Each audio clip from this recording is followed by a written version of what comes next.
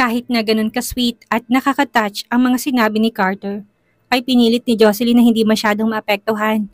Hindi na siyang batang babae noon na kayang kalimutan ang lahat sa isang matamis na salita lamang at kaya niyang patawarin kaagad ang kasalanan nito sa kanya kahit na nasaktan siya dahil doon. Ngayon kasi ay may peklat na sa puso niya at may sugat na matagal bago gumaling. Umalis ang babaeng nurse. Pagkatapos, mabilis na lumingon si Carter kay Jocelyn, ngunit nakita nito nakatayo lang ito sa tabi niya na may kalmadong mukha at halos wala man lang siyang mabasang ekspresyon sa mukha nito. Dahil dito ay bigla na lamang sumikip ang dibdib niya. Ang babaeng mahal niya, wala ba talaga itong pakialam? Baka lipas lamang ilang minuto'y dumating na nga ang lalaking nurse at dalang mga kailangan ito para sa mga sugat niya. Inaasahan na ni Jocelyn na mukhang hindi magandang lagay ng mga sugat ni Carter. Ngunit na makita niya mga ito hindi niya maiwasang hindi mag-alala. Ang mga sugat nito ay halos magnaknak na at ang ilan pa'y dumudugo pa. Sa unang tingin pa lang ay alam niya na talaga na hindi lang simpleng problema yon. Mali ang sabihin na hindi siya nag-alala dito bigla siyang napahawak ng mahigpit sa kamay nito at nakasabit rin ang puso niya habang nakatingin sa mga sugat nito. Pinanood niya kung paano linisin ng nurse ang sugat nito at minsan ay napapadaing si Carter. At dahil doon, hindi niya maiwasang hindi kabahan. Samantalang nang makita naman ni Carter ang pagkabagabag sa mukha ni Jocelyn kapag dumadaing siya, ay mas sinasadya niya pang dumaing para mas lalo pang mag-alala ito sa kanya hanggang sa tuluyan na nang matapos ang paggamot ng sugat niya. Nang matapos ang nurse ay nagbilin ito, kailangan niyo pong magpahinga ng mabuti sa mga susunod pang mga araw para ang inyong mga sugat ay hindi na muling bumuka. Mas maganda rin na hindi na muna mabasa ang mga sugat nyo. Sabi nito sa kanya at pagkatapos ay tumigil at bigla itong nagsalita. Siya nga po pala, pumapayag ako na ako na magagamot na sugat nyo sa mga susunod pang araw. Pero gusto ko lamang malaman, hindi ba't may kasamahan na akong nagpunta rito kanina? May nagawa ba siyang mali at kailangan niyo pa akong ipatawag bilang kapalit niya? Tuloy-tuloy na tanong nito, mabilis naman na sumagot si Carter dito. Hiniling ko talaga na palitan ang gagamot sa sugat ko dahil tumigil ito't lumingon sa tabi niya kung saan ay nahulog ang mga mata nito sa kanya. Ayaw ko ng kasintahan ko ay magselos at magalit kahit nasa malit na bagay na yun lamang. Sagot nito dito. Agad namang napalingon sa kanya ang lalaking nurse at napatitig sa kanya at ang titig nito ay may malalim na kahulugan. Dahil doon ay nagmamadali naman siyang umiling. Hindi, hindi ako galit at hindi rin ako nagsiselos. Mabilis na sabi niya at matapos siyang magsalita ay naramdaman niya na tila ba may mali yatang sinagot niya kaya naman muli siya nagsalita. Mali ka nang iniisip dahil hindi naman akong girlfriend niya. Bigla namang tumingin sa kanya si Carter at pagkatapos si kagad na lumubog ang kanyang mga mata't nawalan ng kinang dahil sa pagtanggi ni Jocelyn. Idagdag pa na wala man lang itong pag-atubili nang sabihin ito yon. Ilang sandali pa umalis ang nurse at dahil doon ay napuno ng katahimikan ng buong silid nang maiwan na lang silang tatlo sa loob. Sinubukan niyang ibuka ang kanyang bibig dahil tatanungin niya sana si Carter kung may kailangan ito kung gusto ba nito ng tubig ngunit hindi siya nakapagsalita at nanatili lang na nakabuka ang kanyang bibig. Sa sumunod na sandali ay bigla na lamang dumating ang tinig ni Carter at malamig na nagsalita. Si Dr. Cruz ay tsak na napakaabala at hindi madaling maglaan ng oras para pumunta lang sa akin. At dahil abala siya, hindi ko rin siya pwedeng storbohin. Sabi nito, Dr. Cruz, natigil na si Jocelyn ng ilang segundo at pagkatapos ay huminga siya ng malalim at pinilit ang sarili na kumalma. Pinipigilan niya na magtatatalon sa harap nito sa labas ng kasiyahan dahil sa totoo lang ay ang sarap sa pandinig niya na tawagin siyang isang doktor. Dahil yun naman talagang pangarap niya. Medyo busy talaga ako since napalitan ka naman ng mga benda at nalagyan na ng gamot ang mga sugat mo, ibabalik na ako sa trabaho ko. Sabi niya rito at pagkatapos ay nagpaalam sila sa isa't isa at napansin niya na tila ba may problema, ngunit hindi na lamang yun pinansin pa tinungo ng pinto at lumabas. Pagkasara niya ng pinto ay kaganyang narinig ang tunog na nagmula sa loob ng tila tunog ng pagkabasag ng kung ano kaya napatigil siya. Habang nakatayo siya doon ay mas parami ng parami ang naririnig niya. Sumandal siya sa padara tinintay na munang kumalma siya bago muling tinuloy ang paglalakad.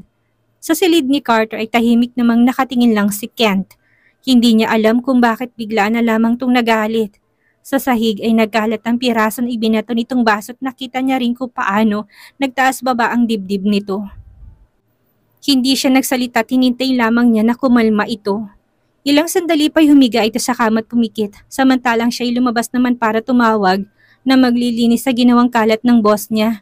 Kasabay nito nagmamadali rin siya para habulin si Jocelyn. Eksakto namang nakakailang hakbang pa lamang si Jocelyn nang lumbas mula sa pinto si Kent at ilang sandali pa ngay narinig niya mula sa kanyang likod ang pagtawag nito sa kanya. Miss Jocelyn, sandali! Sabi nito na mapagtanto nga niya si Kent iyon ay bumagal siya sa kanyang paglalakad. Tumakbo naman si Kent para lang mahabol siya at humihingal na nagsalita nang maabutan siya.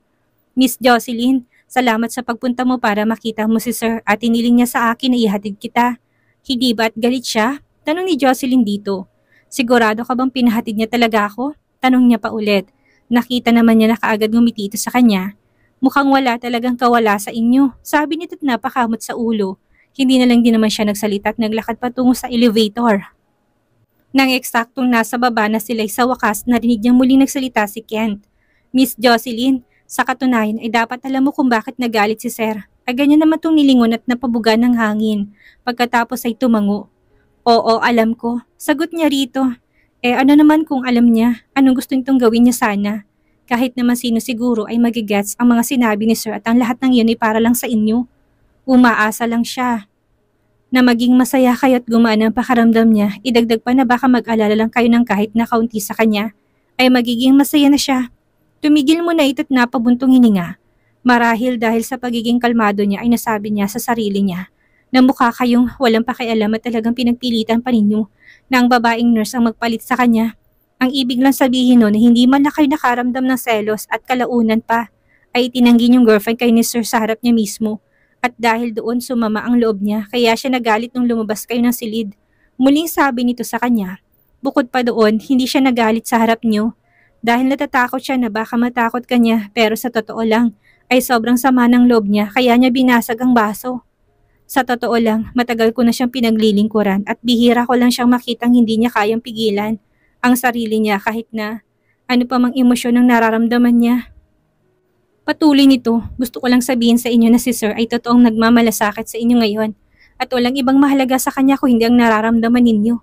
Dagdag pa niyang sabi rito, sinabi yun ni Kent ng taus puso talagang ginampanan niya ang kanyang trabaho sa katunayan, kahit na hindi sabihin ni Kent sa kanya ang lahat ng iyon, ay alam niyang mga iyon. Hinarap niya si Kent. Kent, salamat sa kabaitan mo at masasabi ko na napakaswerte niya na nagkaroon siya ng kagaya mo sa tabi niya at masaya ako para sa kanya. Kaya lang kasi, nahaluan ng matinding kalungkutan ng tinig ni Jocelyn. Masyadong maraming masasakit na nangyari sa pagitan namin at masasabi ko na nasaktan ako ng sobra. Sa totoo lang, akala niya okay lang siya. Oo, tumatawa siya katulad ng dati araw-araw at pumapasok sa trabaho. Katulad ng dati at nakikipagkwentuhan siya sa kanyang mga kasamahan. Ngunit sa kabila ng lahat ng iyon, ay may mga sakit na naramdaman niya ay siya lang ang nakakaalam ng matagal. Dahil sa pag-ibig, marami siyang na-miss na bagay-bagay. Napabuntong hininga na lamang si Kent at muling bumalik sa silid ni Carter. Nang marinig ni Carter ang tunog ng pagbukas ng pinto ay kaagad siyang bumangon mula sa kanyang pagkakahiga at pagkatapos ay kaagad na nagtanong kay Kent. Ano ang sinabi niya? Nang umalis si Kent ay alam niya na kaagad na sinundan ito ni Kent. Hindi naman nagulat si Kent nang marinig niyang tanong nito. Alam niyang lahat ng ginagawa niya para sa kanya. Nang matapos tong magsalita ay mas lalo pang nalungkot si Carter. Kumunot din ang kanyang noo. Pero sa tingin mo ganun na ba talaga siya? Wala na ba talaga siyang pakialam sa akin kaya hindi na mahalaga kung ano man ang mangyari sa akin at sa ibang babae? Wala na ba talaga siyang pakialam? Sunod-sunod na tanong niya rito. Sir, hindi ko alam kung may pakialam pa rin sa'yo si Miss Jocelyn. Pero sa tingin ko, since gusto mo si Miss Jocelyn at gusto mo siyang makasama, ay kailangan mo siyang habulin sa lahat ng makakaya mo. Sa halip na magalit ka sa kanya sa bawat pagtanggi niya sa'yo tulad ngayon, hindi naman nakasagot si Carter at pagkatapos ay biglang nagsalita. Mukhang may girlfriend ka na. Sabi niya rito dahil mukhang bihasang bihasa ito sa pag-advise sa kanya.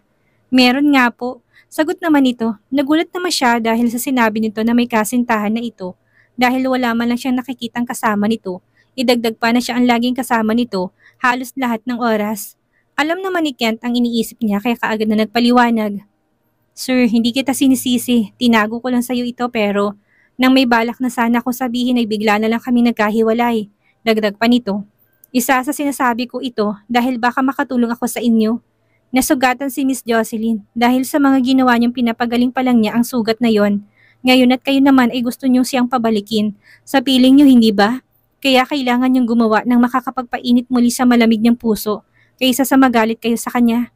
Isa pa, kung hahayaan nyo lang siya na umalis lagi sa tabi nyo dahil sa galit at sama ng loob nyo, ay baka mas lalo lang lumayo ang loob na inyo, lalo ni Miss Jocelyn. Nang matapos magsalita si Kent at medyo nag-alala siya, hindi niya kasi alam kung makikinig ba siya sa kanya o hindi. Hindi niya inaasahan na mabilis tong tumango. Okay, sige. Sagot nito sa kanya at pagkatapos mabilis na inayos ang damit nito tinignan. Ang reflection nito sa salamin bago tumayo sa kama at lumabas ng pinto para hanapin si Jocelyn. Kaya lang walang nakakaalam na bigla na lamang magkikita si na Jocelyn at George sa hospital. Mabuti na lamang ang break time ng mga oras na yon kaya niyaya na lamang niya si George sa cafe na nasa first floor ng ospital. Nang ihahain sa harap nilang kape at naamoy ito ni Jocelyn ay napangiti siya na may kasiyahan. Mabango pala talaga. No wonder sabi mo'y masarap ang kape dito. At mabango dahil bagong giling ang kape. Sabi niya rito, nang makita naman ni George ang masaya at inosente nitong itsura, ay ngumiti si George na walang kapantay. Napakalapit na ng lugar na ito sa'yo. Hindi ka ba pumupunta rito kapag may libre kang oras para magkape? Tanong niya rito.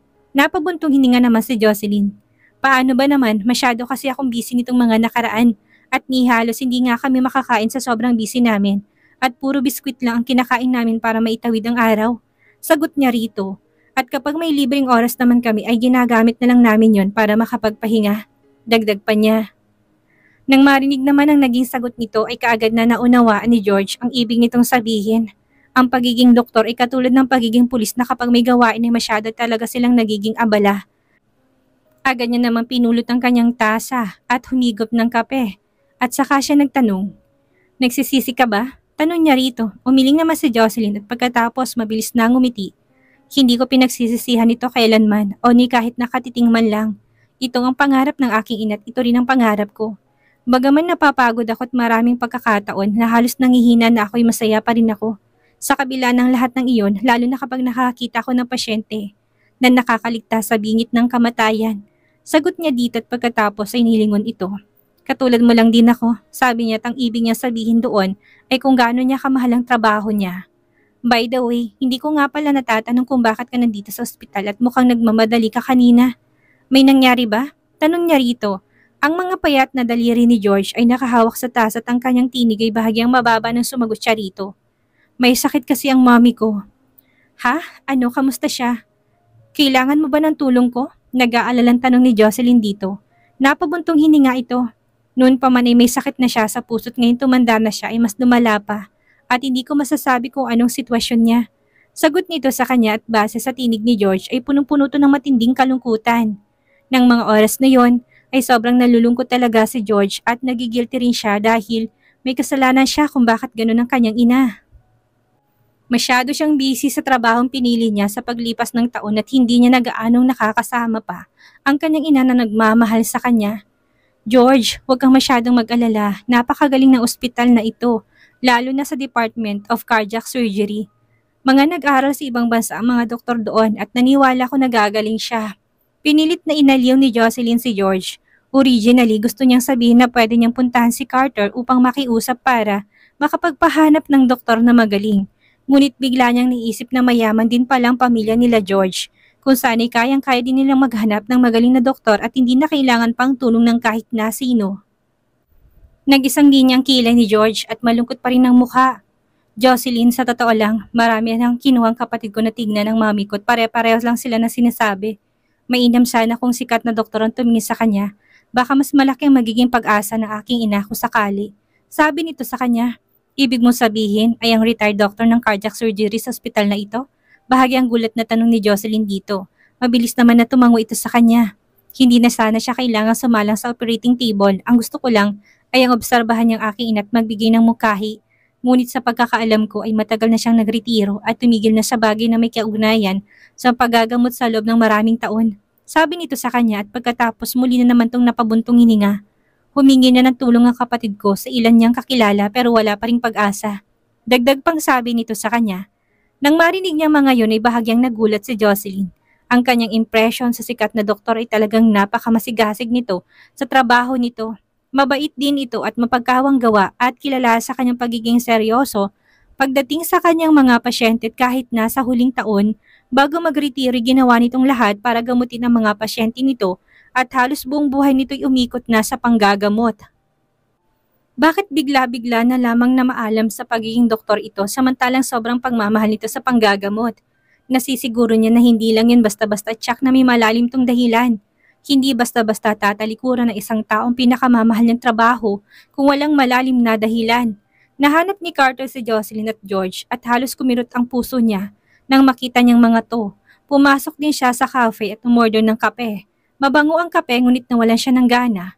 Nanatili siya sa isang sulok at tahimik na nakatanaw lamang sa mga ito. Halos kalahating oras din ang lumipas bago niya nakita ito. Tumayo ang mga ito mula sa kinupan nila at naghanda ng umalis mula doon. Pagkakita pa lamang ikaga na rin siyang tumayo kahit na hindi pa rin niya nagagalaw ang kanyang kape at tahimik na sumunod sa mga ito. Sa mga oras na yun ay bigla na lamang niya narinig ang tinig mula sa likod niya. Sir, sandali, sabi nito ngunit na hindi na lang niya ito pinakinggan. Tumaas ang boses ng tao sa likod niya at patuloy na sumigaw. Sir, wait lang, sabi nito sa kanya at nang akmang papalabas na siya ng cafe ay bigla na lamang siya nitong naabutan at hinawakan ng kanyang braso upang pigilan siya sa kanyang paglabas. Nilingon niya ito, may alanganin tungiti sa mga labit magalang na nagsalita.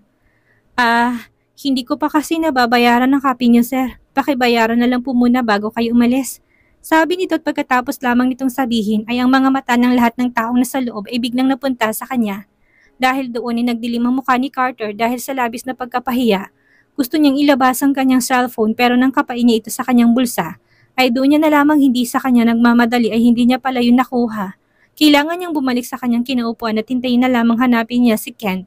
Mabuti na lang at hinanap din naman siya kagad ni Kent at nakita niya nga ito doon. Agad niyang inutusan tong bayaran ng kape niya para makalis na siya doon, ngunit hindi niya alam kung mahahabol niya pa ba si Jocelyn at George. Matapos namang ihatid ni George si Jocelyn at nagpaalam na si George dito. Aalis na ako para bantayan ng mami ko, sabi nito sa kanya. Mabilis naman na tumango si Jocelyn dito kung may kailangan ka sabihin mo lang sa akin at Nandito lang din naman ako tuwag kang mahihiyang magsabi. Sabi niya rito, tumango naman ito sa kanya at tumango. Sige, pagkatapos ito sabihin yon, tumalikod na ito tumalis. Tumalikod na rin si Jocelyn upang pumasok sa kanilang departamento. Nang bigla na lang niyang narinig ang tinig ni George kaya napalingon siya. Jocelyn, tawag nito sa kanya dahil doon napatigil siya sa kanyang paglalakad. Ilang segundo tong natahimik. Bakit? Tanong niya rito na nakakunot ang noo. Nabalitaan ko naghiwalay na kay ni Carter. Totoo ba? Tanong nito sa kanya dahil doon ay mabilis naman siyang tumango rito. Oo, hiwalay na kami. Sagot niya rito, nang marinig naman to ni George ay bigla na lamang bumilis ang tibok ng puso niya. Dahil sa tuwa, iba ang saya nang marinig niya yon mula sa kanyang ate, ngunit mas iba pa rin kapag sa bibig na mismo ito niya narinig ang bagay na yon. Nagdadalawang isip siya na magsalita, ngunit natagpuan niya pa rin ang sarili niya na nagsalita. So, may feelings ka pa rin ba sa kanya? May ingat na tanong niya rito dahil doon ay dahan-dahan namang ngumiti si Jocelyn.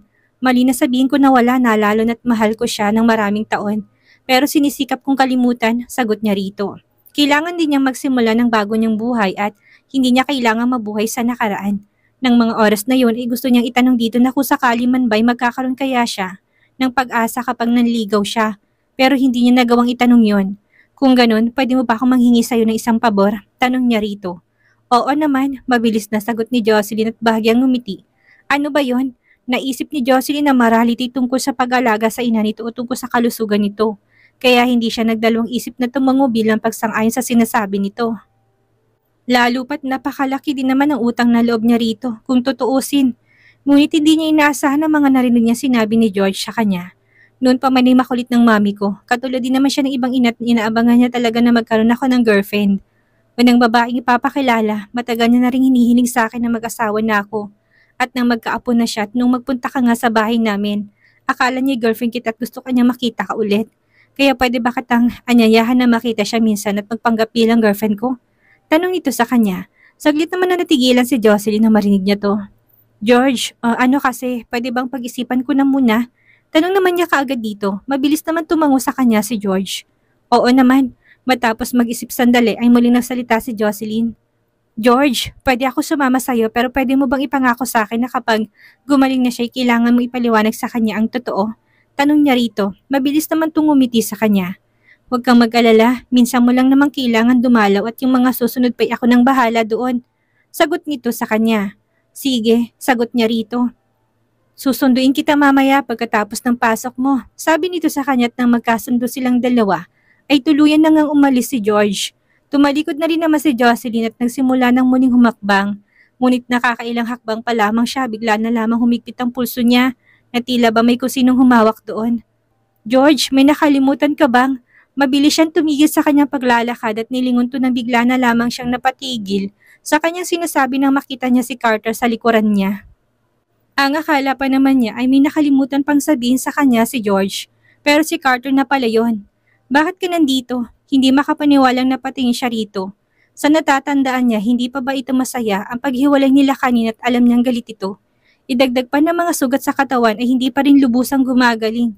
Dahil sa ginagawa nito ay tsak na mas matagal pa itong gagaling. Dahil apura ang lakad nito sa halip na manahimik at magpahinga. Bakit ganyan ang tanong mo? Ayaw mo ba ako makita? Tanong naman kagad ni Carter. Kay Jocelyn Dali, hindi niya magets ang ibig sabihin ng tanong nito dahil daw nilumubog ang puso niya at nanlamig din ang buong pagkatao niya. Hindi yun ang ibig kong sabihin. Mabilis namang paliwanag sa kanya ni Jocelyn. Eh ano ang ibig mo sabihin? Na wala ka ng pakialam sa akin at sa kung ano man ang mangyari sa akin? dahil hindi ka na makahintay na lumaya sa tabi ko para lang makita ang George na yon? Ganun ba? Sunod-sunod na tanong niya rito. Hindi naman halos makapaniwala si Jocelyn sa kanyang narinig. Hindi siya makapagsalita. Blanco siya napatitik sa mukha nito. Gusto niyang ibuka ang kanyang bibig upang magpaliwanag, ngunit habang nakatingin siya sa malamig na mukha nito, ay biglang umurong ang kanyang dila. Alam niya na kahit na ano sabihin niya, hindi niya papaniwalaan. Alam niya dahil kilala niya ito.